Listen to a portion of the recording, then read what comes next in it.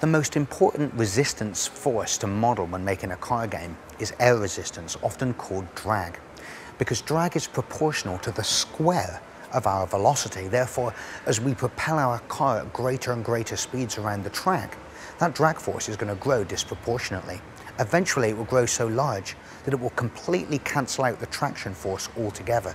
At that point, our car will have reached its maximum speed and will be in a state of equilibrium. Now, if you've never seen what air resistance looks like, it looks a little bit like this.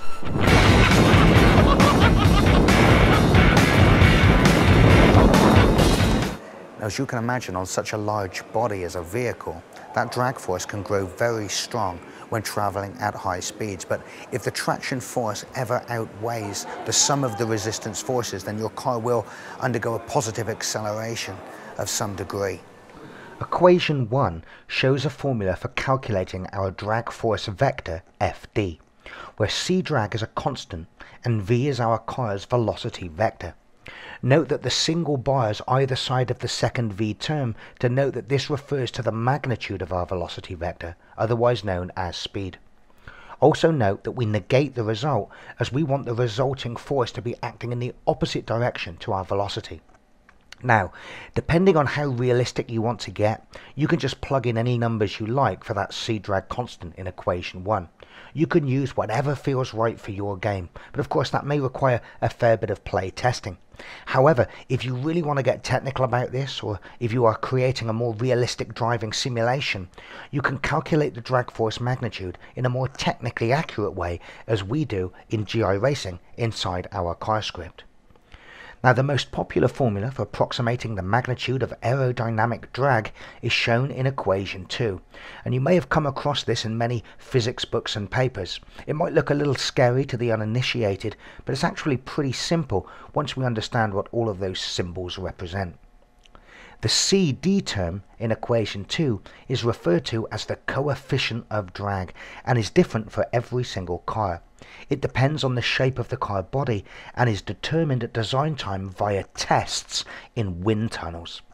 Fortunately, it's usually pretty easy to find the coefficient of drag for any popular cars. They are published all over the internet and in the car manufacturers' handbooks. My car, for example, is a Ford Mondeo and after a quick search on Google I was able to ascertain that for this model of car the drag coefficient is 0.31. Next to CD in the equation we can see the Greek symbol rho which looks a little bit like that italic P. This is the symbol used to represent the density of air in physics equations. Now, air density changes based on the current temperature, and you can look up on Wikipedia a table of air density values for a given temperature. For example, if we assume the temperature to be 5 degrees C, we would use a value, based on this table, of 1.2690 kilograms meters cubed. Next in the equation, we have v, which is the magnitude of our velocity vector, in other words, our current speed. And you can see here that we have that squared velocity term that we've already discussed.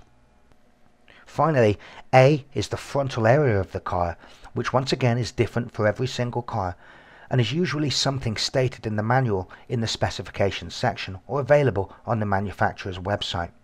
For my Ford Mondeo, for example, it states the frontal area as being 22 square feet, or in SI units, 2.0439 meters squared.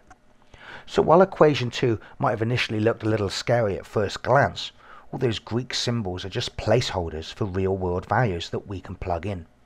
The result of equation 2 is the magnitude of our drag force in newtons. Now, we want our drag force as a vector quantity, and therefore equation 3 shows the final equation to generate our drag force vector Fd.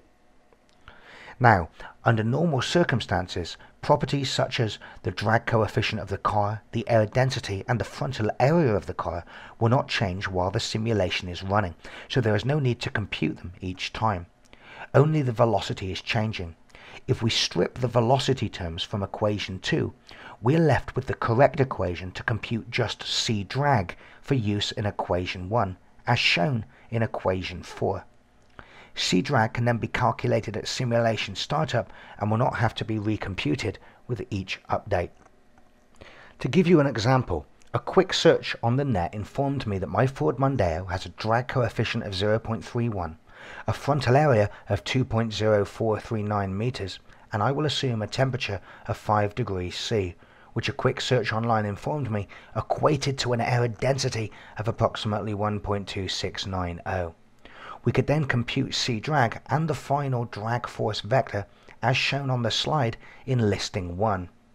As you can see, C drag is equal to 0.5 multiplied by 0.31 multiplied by 1.2690 multiplied by 2.0439, resulting in a C drag constant of 0.40202.